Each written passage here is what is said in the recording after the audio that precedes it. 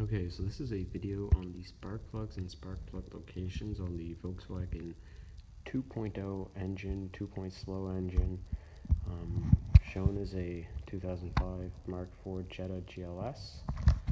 Um, first things first, take out your oil dipstick, I already got that out, take off this bolt that I sheared off, then plastic cover pops off.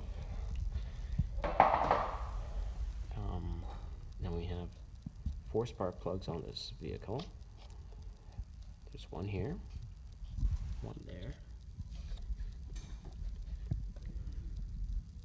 one here, and one here. Now, one, two, and three, these three, can very easily be done, you know, just with a normal ratchet and a uh, 10 millimeter, I think, socket for spark plugs.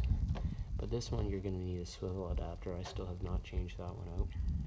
It's common to take off the manifold, but uh, I don't want to do that. Um, now, the question is, what spark plug should I use?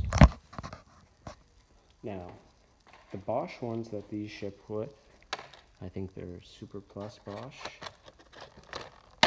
Got one, got one of them I took out right here. These are discontinued, so you can't get these anymore. Look how old that is. It's a piece of crap. Now I have these NGK plugs. They were about $10 for a two-pack at Canadian Tire. ZFR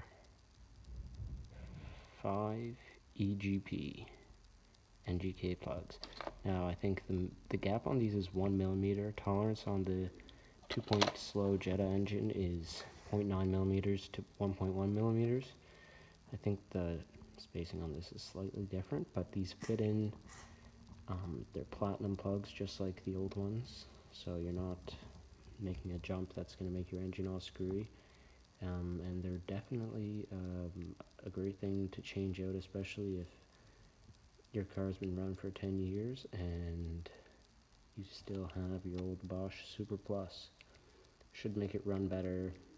Maybe if you have a misfire, it'll fix that. Now the one thing to know with these NGK plugs is they're self-lubricating, so you don't want any anti-seize. I mean, you can put anti-seize, but you don't need to, and I wouldn't.